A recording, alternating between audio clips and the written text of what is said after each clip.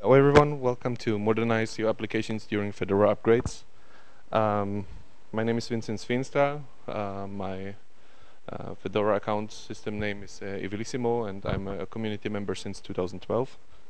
I'm working for Red Hat as a senior software developer.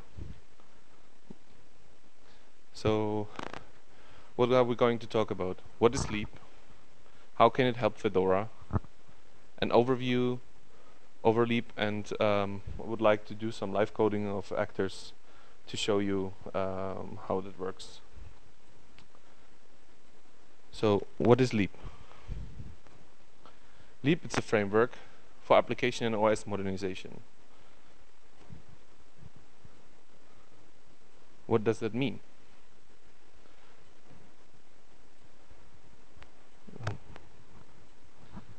Means updating, upgrading the system. In that matter, also upgrading your applications, updating configurations, uh, migrating them to new styles of migrate uh, um, configurations, or transforming your data. Isn't that what DNF or RPM is doing? Yes. But also no. Because there are a lot of things you can't do. For example, as I said, like transforming data is very, very, very um, dangerous to do in a RPM transaction. And we shouldn't do that. And there are a lot of things you can't do uh, in RPM transactions they're mainly forbidden by the RPM uh, packaging guidelines. So what Leapp can do is it allows customization and extension of the upgrade process. It utilizes DNF's uh, RPM capabilities and allows additional modifications around around it to be packaged. So what does it mean like uh, modifications? Well, you can modify the transactions. You can add packages to the transaction, you can remove packages from the transaction, you can replace a package with another one, and things like that. So how can that help Fedora? Well, you can make optional things uh, available to users during the upgrade, allows you to add the ability to ask the users questions during the upgrade process. It allows you things to do during the upgrade which are which you should not or must not be doing uh, during RPM transactions. It allows the DNF upgrade transaction. And now I will give some examples of what I had ideas for, what we could have done or could do um, with Fedora uh, and uh, this kind of upgrade process. Now, that said, these are hypothetical and all the examples are not implemented. So, idea number one, ask the user to switch to the new bootlo bootloader specification automatically during the upgrade. Um, as maybe some of you know that uh, we we introduced the bootloader specification which gives a unified way of describing bootloader entries uh, for the kernel and with all the configuration options uh, which is um, basically the same across uh, different types of bootloaders in including grub2 and uh, I think it's called zipl or something like this. this is how this could look like. During the upgrade, the user could be asked like, do you want to migrate to this new, or do you want to convert your uh, bootloader entries to, to the new um, configuration format? Another thing what we can do is detect, for example, Python 2 application in Scrim and sub subscribe to Python 2 channels. And with channels, I mean modules, like to a module stream. It's like it's like an example how this could look like. Python 2 module stream is like the title. And then it's like, we detected Python 2 scripts on your system. The new version of Fedora gives you the opportunity. To Python 2.7 module stream. How would you like to continue? And then you can switch to it, do nothing. That means like default behavior would what would be, and abort the upgrade. Another idea would be detecting Python 2 application scripts and warn the user about discontinued support. Very similar message, and then it's like uh, ability, for example, to show what scripts are affected, and it would uh, print the list of scripts it was uh, it found.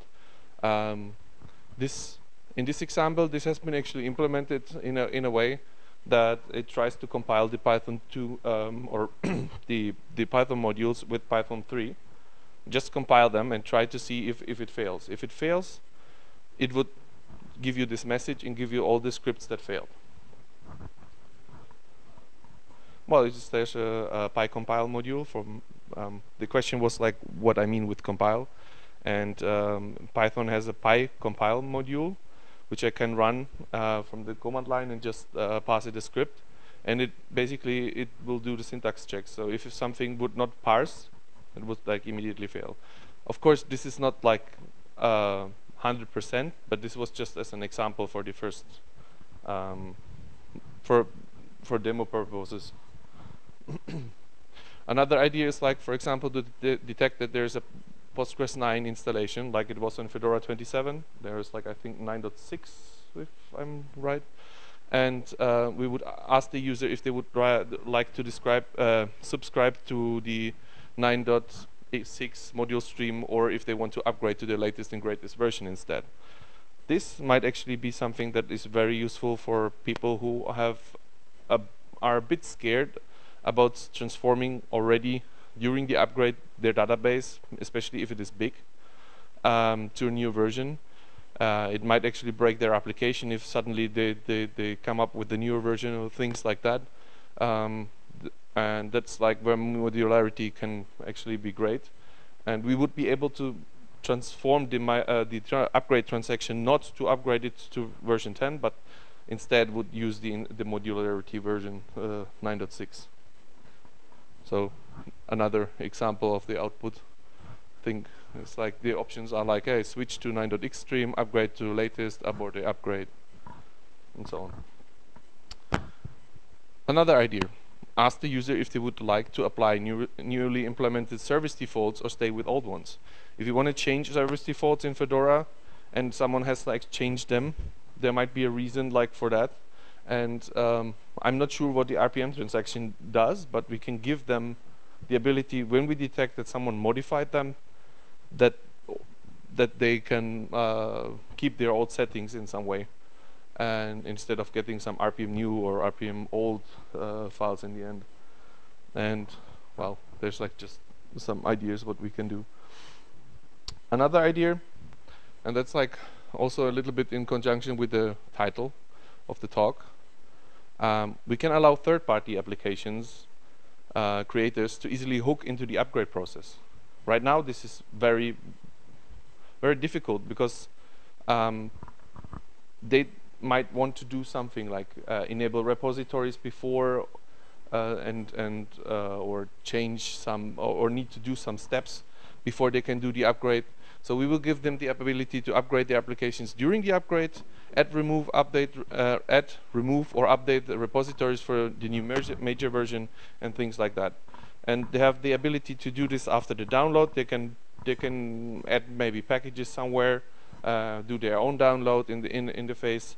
They can do a lot of changes to the to, to the or influence the up RPM upgrade in in a way that does not um, it's not possible basically right now.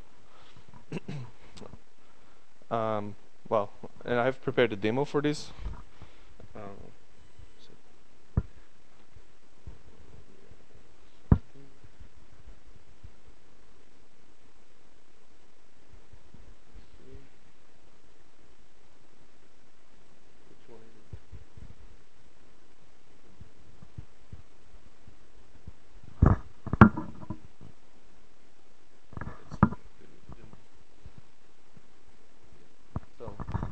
we do here is like we start the leapp upgrade.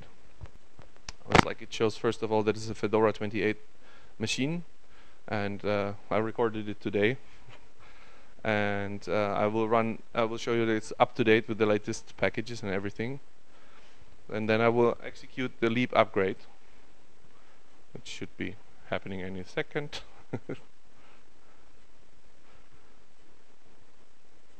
So, and there you can see the questions which I was showing you in the as the ideas, how this would look like in the process. Um, please beware the log messages you see are currently during the development uh, uh, present. but they will be uh, removed and there will be uh, more sensible messages should be printed during the um, during the upgrade. Um, but it helps a lot during the development to see if actually your, your stuff get executed or not. Basically, this is what will what you would see in a verbose mode.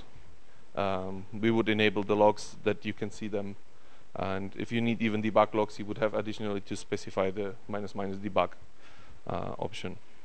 So right now it would like uh, it edits uh, to the DNF call. It added actually an additional repository with my with my um, repository for the for the uh, Leapp um, um, RPMs, so they can actually get upgraded because like if they wouldn't be there, they would break also the transaction. So it's actually sped up. I hope.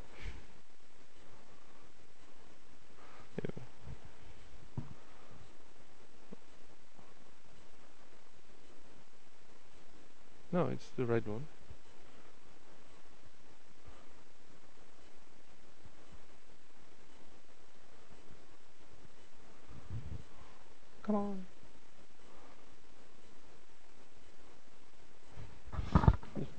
Feels like stuck. no, it is not the right one. Sorry. Started the, the long version. Hold on.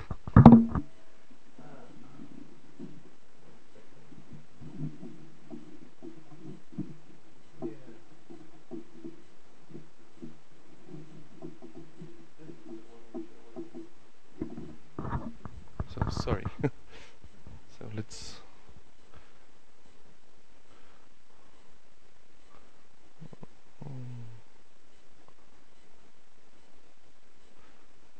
okay okay now okay so we're back where we were so now I can see the cursor blinking really fast if you sit close enough so now you see uh, I sped this up like I think 60 times or something. So because it's basically what it does, it just like downloads the packages and reboots. Then it starts uh, running in a um, init RAM disk and will resume the upgrade. And this now you can see that here. And then DNF will start running again, but this time uh, in the offline mode with using the cache packages only. And he's going. It's going to apply the transaction, which also, of course, is never that that fast. Wishful thinking. well, and after that, um, again, and uh, basically you will end up in the Fedora 29 system. And um, unlike with the DNF system upgrade, you um, don't have to run like two commands. Uh, I think it is a bit more convenient. I, I, don't really understand why decision like this made but uh, well so here's the reboot into the new system and we will end up in rawhide basically it's like you can already see 29 rawhide and basically I will do the same thing I did before with the um, OS release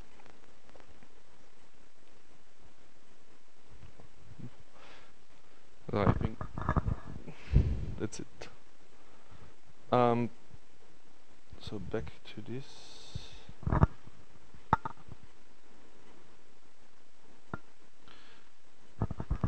So, um, a proposal for this, uh, I will try to publish after Flock. Um, not immediately, but like sometime after Flock. Um, it's not available yet and an expected time frame when we could do something like this, make it available for um, for Fedora is like probably around version 31 or 32. I don't know. This is really hard to say because it will also need a lot of work from uh, our contributions from a lot of uh, community members because um, we can't know all the things that can be done and it would be really great to get also some feedback on that what community members have ideas about like what could we do on top of it. So an overview over Leapp itself. So Leapp has um, the notion of workflows which means describes the whole upgrade process. What we've seen here, that's called in-place upgrade, and that's one of these workflows. And each of these workflows have phases, and you, I will visualize this uh, a moment later. And each of these phases has three stages. Um, phases basically give you the ability to order your um, your execution of your modules or actors, how we call them, um, a specific time during the workflow. So if you say like, ah, I need to run before the download, and um, I, you can do that. If you want to uh, run in the init RAM disk at some point, uh, for example, after the application, um, the upgrade transaction has been executed, uh, you can do that.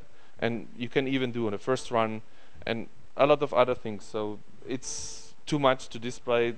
We have like a lot of phases, and um, if this is necessary, we can even add more.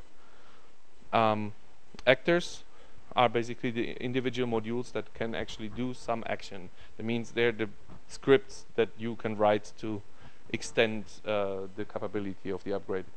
Messages are um, sent between uh, actors that is a way of providing data from one actor to another. That means like if you, in the beginning of the um, of the workflow, you start scanning for something, you have one actor, and later in the init, init RAM disk, you want to apply the data or will use the data to transform it. You would write a second actor that consumes that message, and these messages um, contain a definable model, which is basically the you can define that way the pay payload of the message.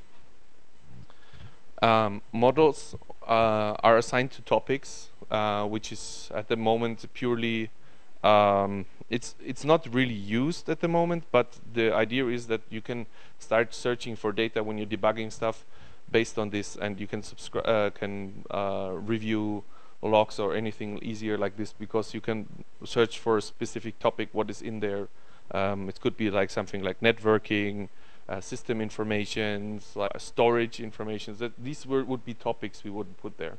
And they could be also like for third parties, they could put their own topic there just to find their own messages easier. Um, tags are used to um, designate actors for a certain phase and um, because we have a notion of also repositories uh, where all of this data which you've seen here, all of these items are in, in simply in there and uh, can have multiple purposes.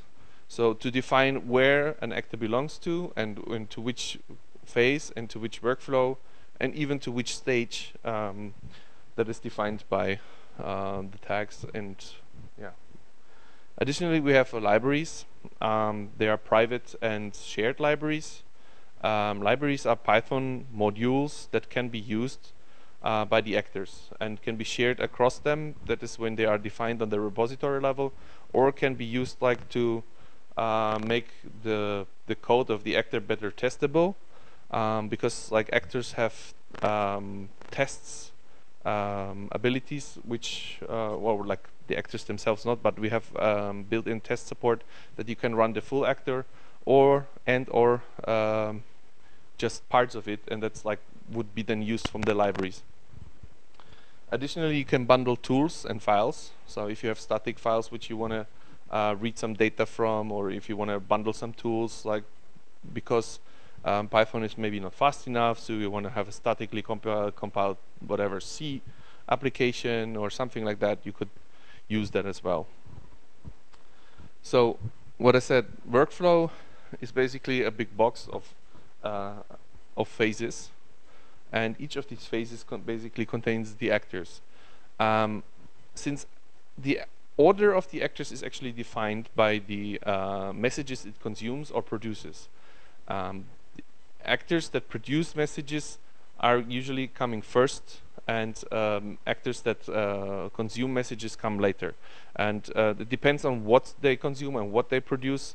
Um, it's it's a little bit tricky to say, but it's basically a topo topology sort. So um, I guess this for people who know computer science, they should know what it means. Um, yeah, and um, with the phases, I said like there are stages. I put, didn't put them here because it would make it too small. Um, basically, you have the ability to say like, okay, um, my my actor would be executed too late in the order. I want it to be uh, executed before the other actors in the phase. So you have the ability to say like, I put this in the phase before in the before stage of the phase. Uh, by default, they go to the main phase. And if you explicitly say that it should be before, then it goes to before. If you say explicitly it go, should go after, it will be executed after that. Um, that way you can ensure that it is executed at around the same time in this phase, but you can influence the, the order. That is, for example, very important if you want to uh, influence another actor uh, with the custom actor you add. Like, uh, for example, administrator is not happy about what an actor does. For example, it uh, removes a file or whatever, which it shouldn't. So it could the the act he could write two actors, ones that backs up the file before and moves it somewhere else, and afterwards like moves it back, so the actor has no chance to to modify it. Of course, this is like a random example I just made up, but uh, I, I, think there will be use cases where this is really uh, useful. So models are basically definable uh, data structures. Like. Uh, we have a bunch of fields uh, very similar to what is um, done by um, yeah. Um, SQL Alchemy uh, if you know Python. Uh, SQL Alchemy uh, allows you to define data models for the database. Um, we have support for numbers that means we can say integers or floats like means it allows both uh, we have support for booleans, datetime objects, strings, enums, lists, and uh, we are allowed to embed other um, other models. However, uh, we don't support maps or dictionaries because we don't want the freeform uh, support because that forfeits the whole idea of uh, defining the model. Uh, if you do that, then please just dump it to a JSON string and like be done with it. On top of that, the data is validated. So if um, usually there should be not a problem, but like it could be due due to the dynamicity of Python that someone puts the wrong type in there. So it would actually raise an exception if you would try to put there the wrong data type. the repositories um, is, as I said, it's like a big bag or cloud of of uh, different types. I put there now three, but basically there there are a lot of them and um, these repositories they can actually be linked to each other that they have a relationship.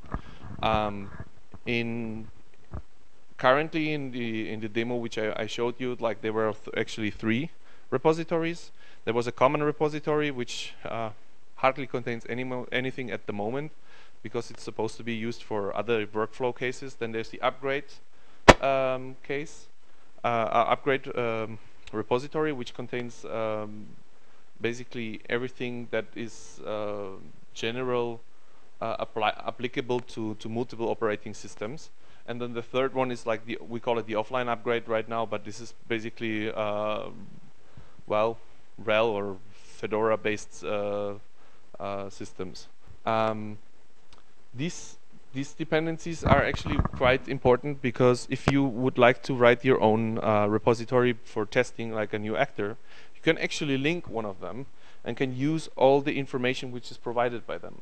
Otherwise, if you create a new one, a new repository, you have no uh, models available, nothing, so you would have to start with everything from scratch.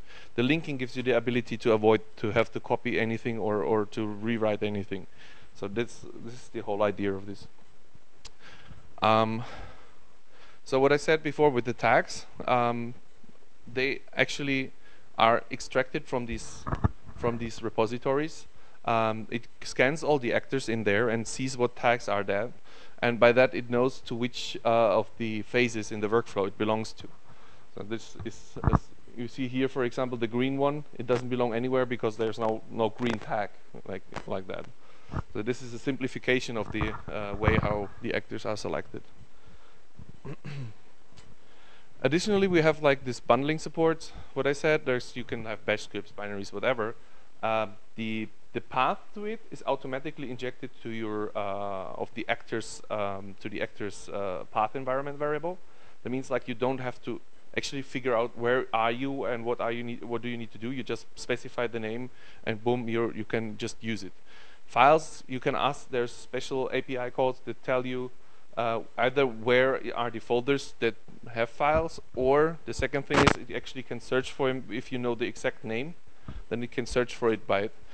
Libraries, um, that's like, as I said, shared and, and bundled libraries are uh, uh, shared and uh, private libraries are available. So like I already covered that before. So the next thing, this is our mascot, Snactor, we call him, because like it's a Python actor uh, tool. so snake actor, right? Snactor. Um, the, the tool is uh, used for um, creating templates of actors, models, workflows. It creates full boilerplates of tags and topics. Uh, it can discover uh, in the, the repository what do you have there and display them nicely. It can export it as JSON. It is used to link the repositories and, and resolve them. Uh, it's used to run actors uh, for testing purposes. It's used to run workflows for testing purposes.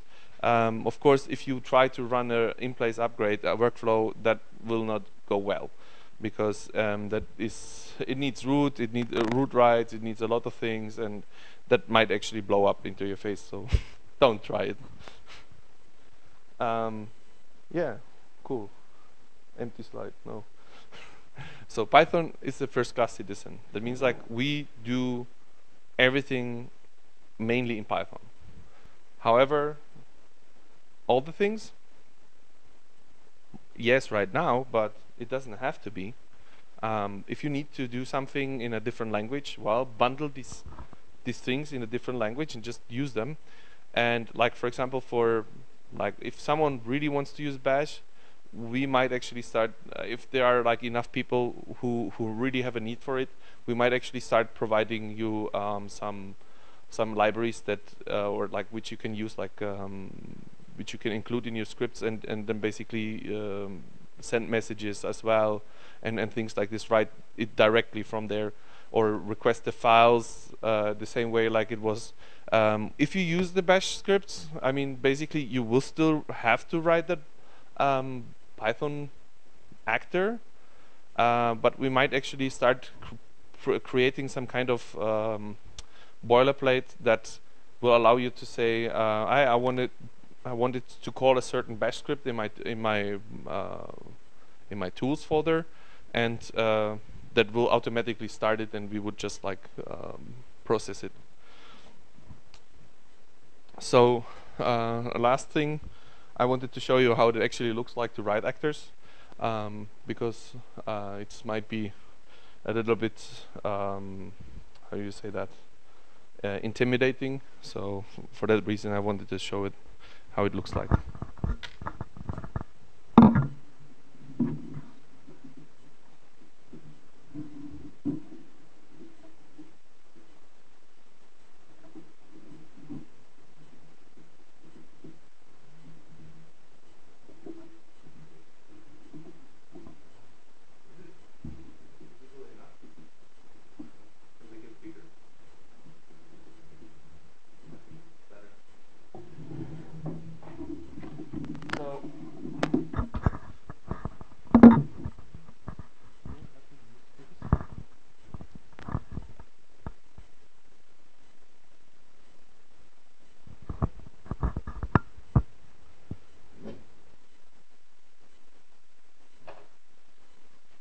Let's hope that works. So, so um, this is a pre-made uh, repository. It has some tags, topics, and uh, workflows. Um, as I said before, you can use the Snactor tool to discover things. So if you want to know what's there, uh, okay, this is really a bit too small, uh, too big. So um, you see like it, it will show you what tags you have it shows you what demo topics you have uh, what topics you have what uh, workflows you have defined. And in this case the workflow is very simple. Um, it's also in Python defined. It is has only one phase and it's just for the demo purpose because it's like otherwise it would blow your mind. Like if you would see the the in-place upgrade, it is just too long. Um, so for this task, uh, for this uh, live coding, I, I was uh, saying like I I will write an actor that produces a message and that consumes it and prints it. So and then execute at the end the workflow. And in the meantime, I can also show you how it looks like when they run. So Snactor, uh, you write first of all the new model, and you uh, want to use the the tags. You don't have to specify the tags. Um, sorry, tags topic. You don't have to specify the topic immediately. It's just um, gives you the ability to uh, avoid having to write it yourself later in the in the produced thing. So right now the the boilerplate created looks like this, like, and uh, since we want to send a message, we should be a string, right? So, and we make it required, and that you write your model, you're done. Um, next thing we want to do is like we will want to write the actor. So, use actor, new actor, tag is will define like that we want to have it in the flock phase tag which is flock phase and we want to have it in the flock workflow. So we say workflow tag and this is like a flock message producer. So we got the new uh, the boilerplate here there's everything um, okay. In this case it, we also want to uh, produce uh, the the flock message. So from models import flock message um, and we produce this. So so flock message. So one one thing to say, if you would want to use a library for this, you would actually just use from lib actors uh, from lib library sorry libraries actor import and that is your private ones and if it is like a shared one it would be here like import common. So that basically this is how it looks like. Uh, there's nothing magic to it uh, from the usage. It's just that for every actor which is actually executed in a own process, uh, it's a forked child of the main process. Um, it gets actually injected all the private uh, libraries that are available, and uh, so that it always has the same path, no matter how the actor is called or anything. So producing the message is actually quite simple. It's like produce, um, and uh, you just like say what uh, instantiate the the uh, model, and say message like hello flock 2018, right? So, so now uh, we can use Snactor run uh, flock message producer uh, print output and it will show you that it actually created a message here. Um, if you don't say print output, it will actually not do anything. It will just like um, show you the um, normal output, so there's nothing um, what you could see from it. You could have added a log message, which I could show you as well. This is uh, relatively simple self log info uh, send message and then if you if you run it then you actually can see it uh, in here you see?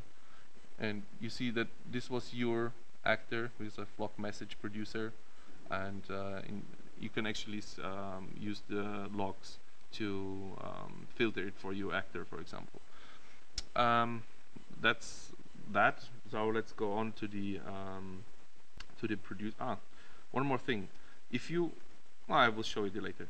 So the new uh, the the consuming actor which will print it um, let's do the same thing flock um, phase tag tag flock uh, work workflow tag and um, consumes flock message uh, oh, it's like uh, flock message consumer um, actors Mm-hmm. No? Ah yeah, of course.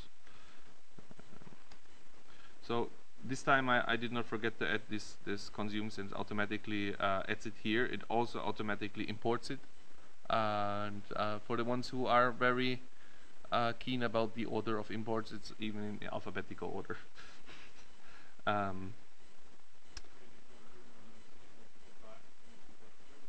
Yes, uh, messages are are not uh, like uh, it's not a like a queue or anything. It messages, and you have there's no way of influencing it. So uh, they cannot be removed or anything. They are there, and that's it. Once they're there, they can be consumed by anyone who who knows their name, basically. And um, I mean, basically, the consuming part or the producing part, you, you're not restricted to one uh, thing uh, or self-consume thing. Um, they pass actually consume works a little bit different like the produce like you pass the type and with this it, it will just do the lookup. But you're actually able to say like frog other message or whatever you have a different different one. You can get consume both of them. But since you uh, this it returns a, a generator so uh, you would have to check what type it is so usually you don't want that. But if you if you're fine with it for example they have both the same structure just different names and you don't care why not? You know, so I mean that's the the beauty of Python in this case, that it allows you to do these things. So for message in um, in self-consume uh, self-consume flock message, and now you can actually just well, let's use the logger. Uh, message, message, and it's like.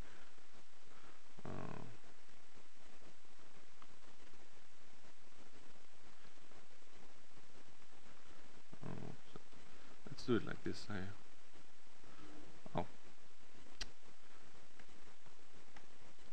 Well, we can do it properly with um, logging style, so it doesn't do it if the style is not enabled.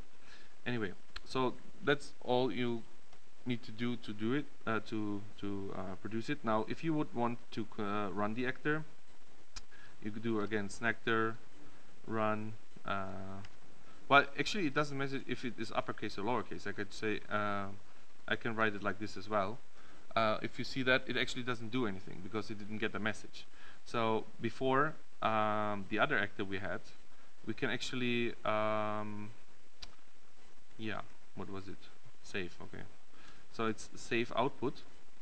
If you do that, it will be locally stored in your in your um, repository in, in in the in the database there. There's a there's a it's a database actually, um, which you can review if you want. That is just containing all the data, um, and you can now consume it in your uh, in your other actor. So now you will see that they're actually it printed here the, the message which was forwarded. So and um, now since we had the workflow, you can use Snactor workflow run flock and ta-da. Thus the same thing. so much for the demo. um, are there any other questions?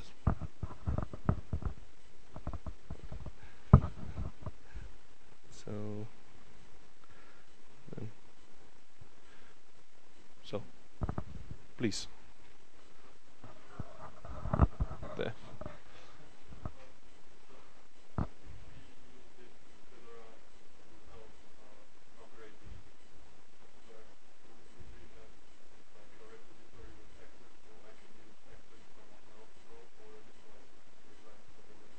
Well, right now, well, how it would be. The, que the question is if, if uh, we would use this in Fedora, if we would have a repository that we can use someone else already wrote.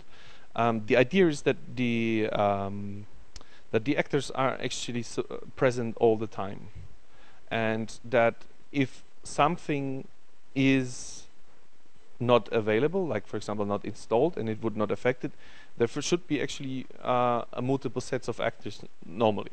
For example, there should be in the beginning, there should be something that scans for this stuff and figures out there's nothing, and it would not produce a message. Later, the, another actor gets executed, which would consume a message, but the message is not present, so it wouldn't do anything. And that way, it is uh, the idea of of how this should work is like this. So your question like I mean basically and the availability to get to the availability um, well there would be basically installed um, well the default set of like what we support in Fedora uh, would be should be installed basically the moment you install the Leapp tool um, who wants to add uh, want to use third-party ones. Well you can just include them into etc leapp uh, repos d as a symlink the repository and they will get uh, uh, for the upgrade they get injected into that. They get automatically loaded. Anything what is in the repos D folder gets actually injected. That works without the linking actually. But most of the times they use the linking as well because like they would refer to other things from there to consume to be actually using the tags to be injected into that whole uh, workflow. Yeah, without that wouldn't work. Yeah.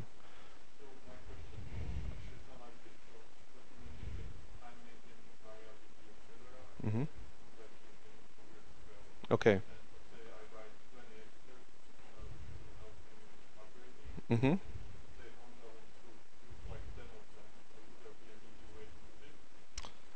There's okay. The question is like basically um, sharing actors between different databases. For example, the example was that one uh, developer is maintaining MariaDB, the other one is Postgres. For MariaDB, they are implemented, and the Postgres developer would like to uh, reuse a bunch of them. Um, in that case, I would actually wonder if that would not be a use case for shared libraries. Um, that's the first thing. That might actually solve your problem already. Uh, if you share them on repository level, that um, then they are like usable by anyone. That's the first thing. Um, the second thing is like, if necessary, yes, you can use them. This is just like you basically produce the same messages, and it would do something. But you need to be careful. Um, generic actors might be a sign of that it is actually supposed to be a, a library because uh, it's if it is generic code that is more a library than actually an actor. An actor should be specialized to specific tasks. Okay. Any other questions?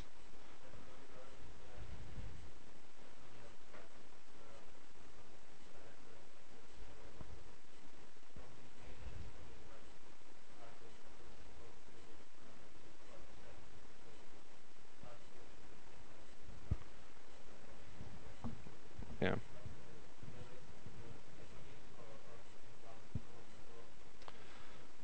Well, to be quite honest, I I'm sti still a little bit um, back and forth with the idea where to. Oh, sorry, uh, where should live basically the actors? Like, should they live with the uh, with the product or uh, um, which which is affected by it, or should they live basically in a global repository for all all the things? Like, uh, let's say there's a upstream project which main, manage, manage, maintains them um, for, for Fedora. To be quite honest, I don't really know right now what is the best approach here because um, in initially I would have uh, one like one global one only, uh, one place where to put them. Um, and that is because until you have everyone uh, on the same page of like how should be actors written and how should be basically you would need to set up something like uh, the packaging guidelines you would have to set up something similar and uh, this needs to be undergoing reviews so at this because um, otherwise it's endangering the upgrade process you might actually do something which is dangerous and you should need someone who looks over it a bit that until you basically understand how to do it. And uh, anything that is in Fedora, I think it would be beneficial to have one global place. To like what is by default Fedora should be one global place. Is it like something external like Copr or whatever? They should bundle their repositories like with their uh, RPM and have it specialized. And it's like something like what, what like for example in a in a RHEL scenario where we products it's called, they are like based on RHEL, and we have like for example RHEV, and they would be upgraded to uh, want to upgrade together with um, with the major version of RHEL to the new version of RHEL. They should provide, for example, their own uh, um, repositories. Very specific, has absolutely nothing to do with the base operating system, and then it should be bundled. And that's like falling under the section of three uh, third-party um, application developers. So. Does it answer the question? Good. Any other question? Yeah.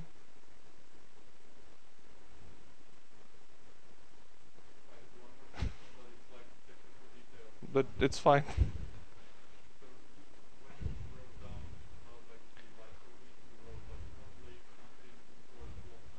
do, do, do you want uh, do you want uh, want to see that um, oh wait a moment what what did you see once more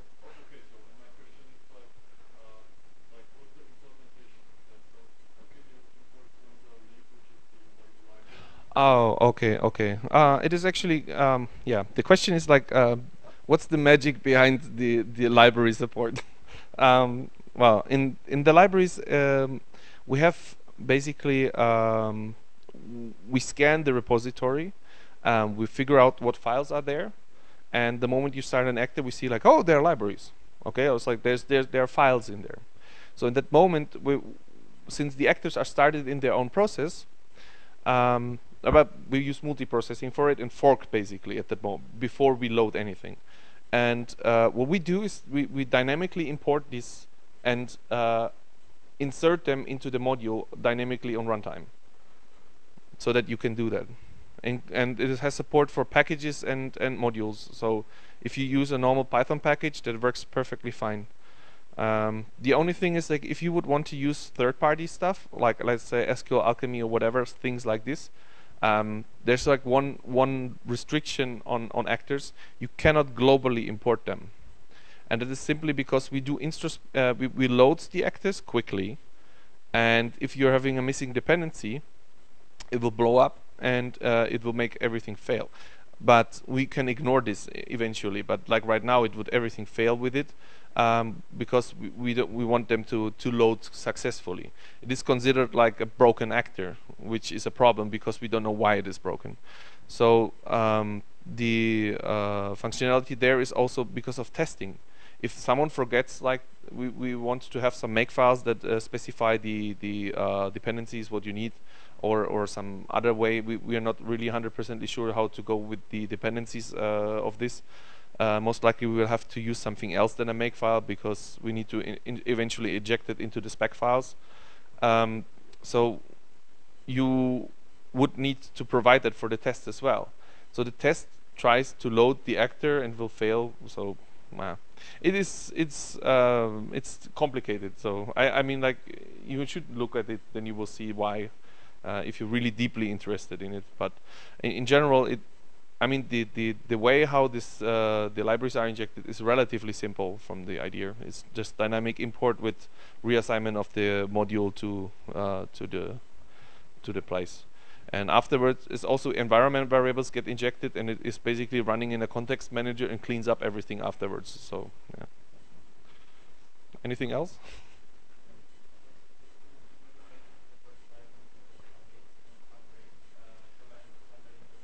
No, that was about that was about uh, modernization. What does it mean? So update update can be it's not in context of uh, Fedora upgrades in this case. It is more uh, what does modernization mean? It's like you bring the software up to date, or you bring the data to the up-to-date version. I just used update slash upgrade because to me, quite honestly, this is ambiguous. You know, this it's there's no clear line. What is an upgrade or what is an update? At least to me, not of so.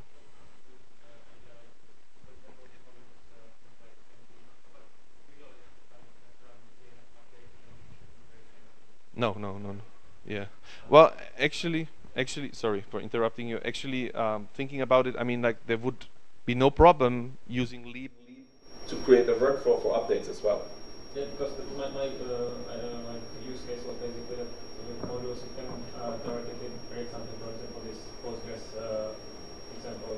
I, I turn on uh, some module which is like different than what I have on my system, and then when I run uh, the update in this case, maybe I want to see the same message uh, as, as, I would see uh, doing the upgrade, for example.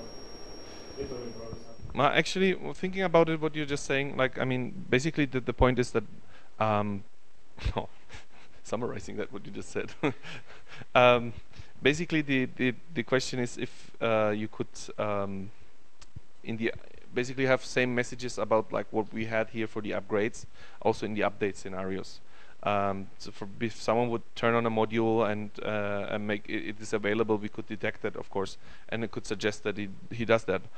Um, on the contrary, the questions, it happens sometimes on Fedora that some major version upgrades during the lifecycle happen, but it's very discouraged from what I know.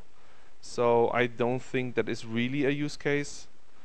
Um, in, I mean that particular example. I can imagine that there might be some things that you want, want to do. Maybe this might be interesting to system administrators. um, to add notifications, for example. It's like something happened, something was updated, something wasn't updated, things like that. So, yeah, we kind of lost track of time. uh, okay. I, I I don't know I, I don't know how long it is actually going. Thank you.